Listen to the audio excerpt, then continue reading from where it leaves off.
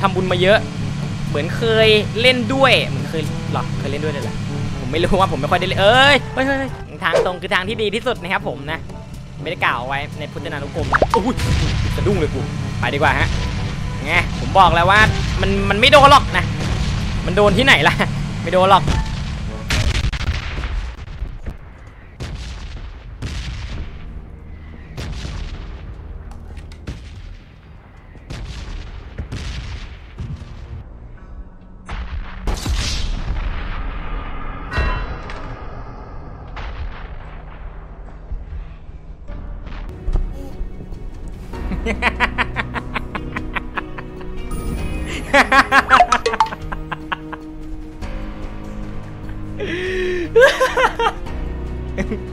ทำบุญมาเยอะ